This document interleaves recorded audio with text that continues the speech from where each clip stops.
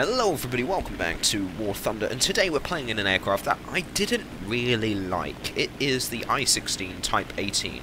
Now it's just not it's not just this variant of the I-16 that I'm not particularly a fan of. It's all of them really. I just never really saw the point. Now, make no mistake, these are, as you will see, uh, maybe a bit of a, a deceptive aircraft. Um, I always saw these planes as kind of bad. They're fairly easy to kill and uh, they basically put all their eggs in one basket. They're very light, they're quite nimble, they're very small, but that's kind of all they have going for them.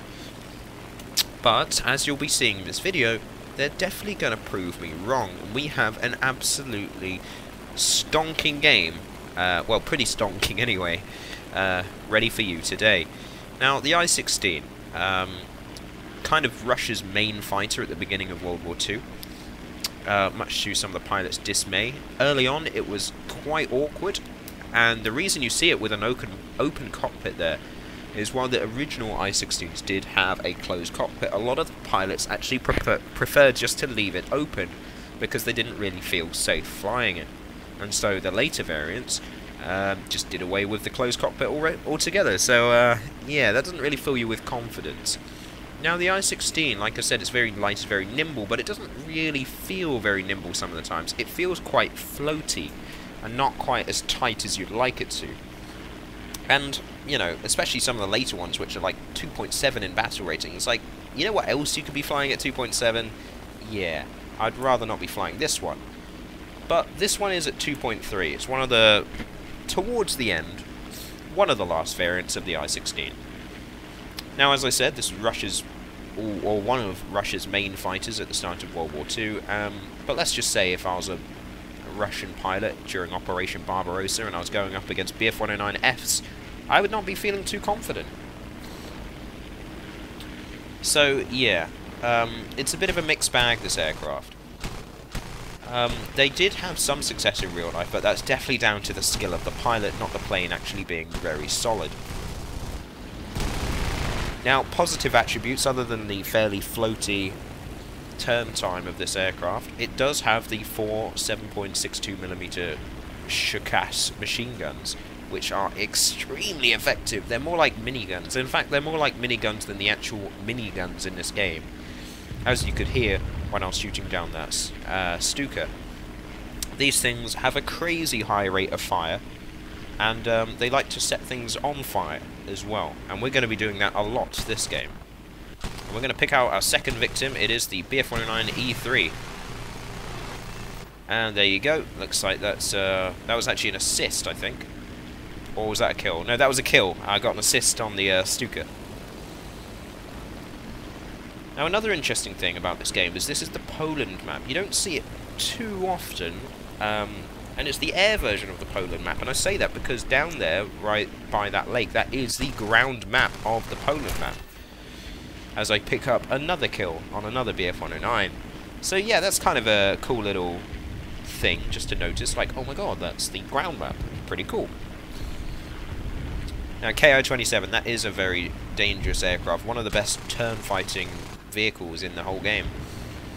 Unfortunately, however, being Japanese, it doesn't exactly take fires too well, and, well, there's kill, number three. Ki-27 is another aircraft that's horribly over-tiered. It's something like 2.0 in battle rating, and, well, yeah, it doesn't really work too well.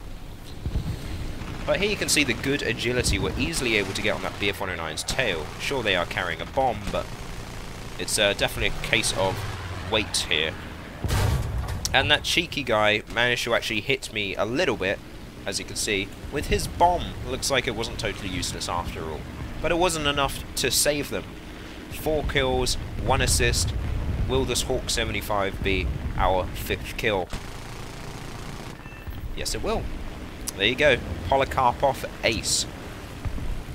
Now, as this is a fairly low-tier game, you're going to see over the course of this game, our team just you know, randomly crashing and disappearing over the course of time. Uh, take that uh, P400 way in the distance there. He is chasing down a J1N1. Fair enough. And he's going to be chasing them down for some time, to be honest. So, uh, while we wait for him to uh, do his stuff, uh, we're going to begin travelling back to base. I think we are quite low on fuel.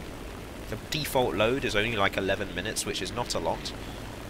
And we're low on ammo as well.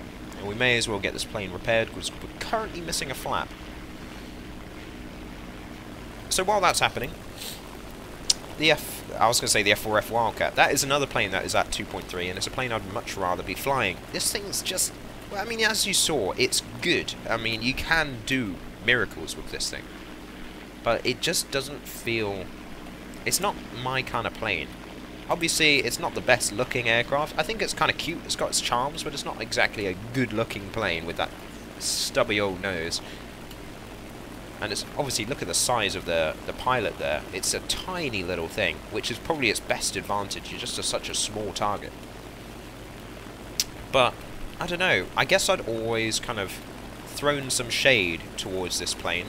And to be honest, I don't think it deserved it all the time. So maybe my opinion on this aircraft has changed, but I'd still hesitate to fly it over something else. Obviously, the lack of speed, our top speed is like 280 miles an hour, which is significantly slower than a lot of other aircraft in its tier, like that P400, who has now finally killed the J1N1.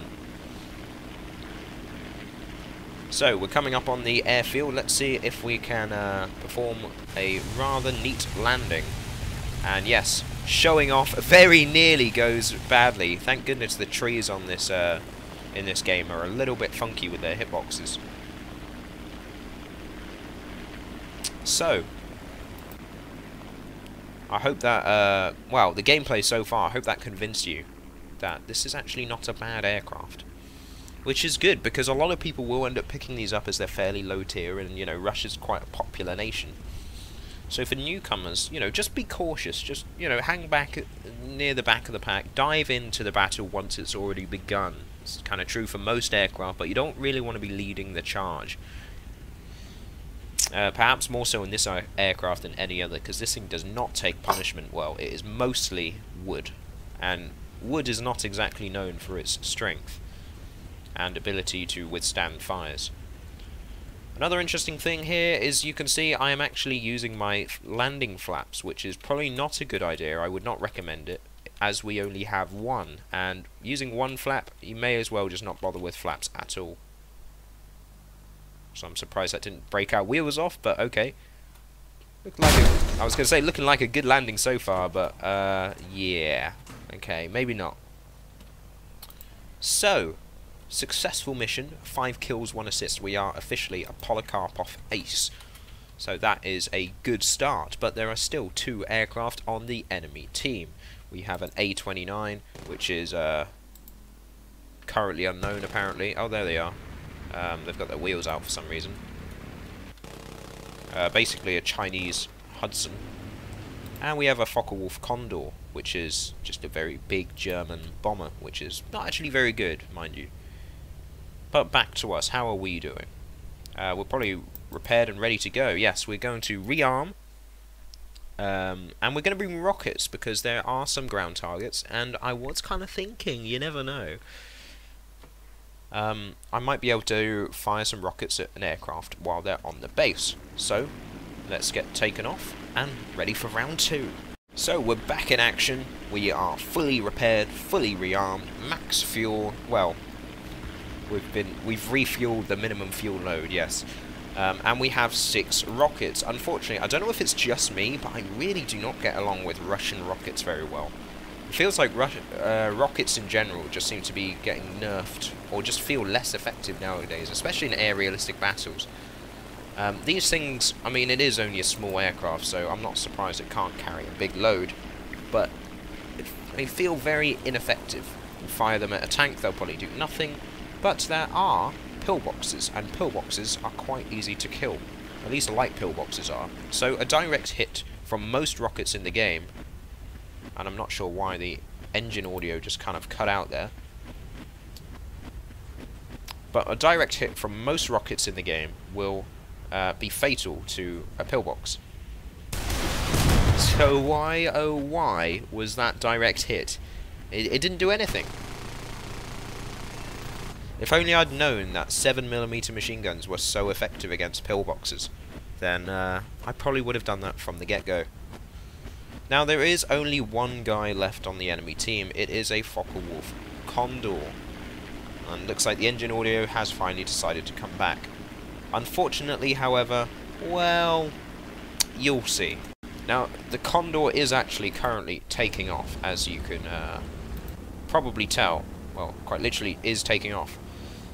Unfortunately, he is a little bit too close for to the airfield for me to get involved. And while I am hovering around up here, waiting for them to get out of the range of the AA, which is trying to shoot at me now, I can uh, you can see him there. I'm trying to hover my mouse on him.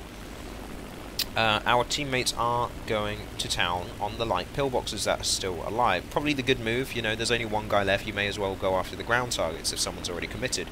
Unfortunately, the Wildcat, who was destroying the enemy pillboxes, uh, basically depleted the enemy team's tickets, so the game ended before I was able to get a sixth kill. But still, it showcased the Polikarpov's good strengths. So let's quickly run them down. You have an actually surprisingly good rate of climb. I assume that's because it's so light, because it's basically nothing with a big engine. Uh, actually, how big of an engine is it? It's not even that big, um, but it's big enough to make it fastish. Unfortunately, the top speed is not great. The turn time feels a bit deceptive. It feels a bit longer than that, but um, it feels a bit floaty, like I said. And obviously, this thing is very, very poorly defended. Um, no armor. Well, there's that, but that's not really going to protect much. Um, so yeah, speed uh, is not your strength. Size, however, is. I mean, you compare this to an i15. The i15 is actually bigger in some ways. Compare it to an IL-2, and yeah, it's like half the size. So use that to your advantage. You can be quite a small target to hit. Be fairly reserved. Go in once the enemy is distracted with someone else. So there you have it. I hope you enjoyed that video. I hope this was useful. I hope this maybe shone some light on an aircraft which uh, at least I didn't really think much of beforehand. And if you did like that video, do hit the like button, comment down below, subscribe for more, check out the Patreon, and tune in to the live stream uh, later today at 5 p.m. So, uh, hopefully it will go a bit better than last time. Hopefully I'll remember to turn the mic on. Um, so yeah, I'll catch you in the next one.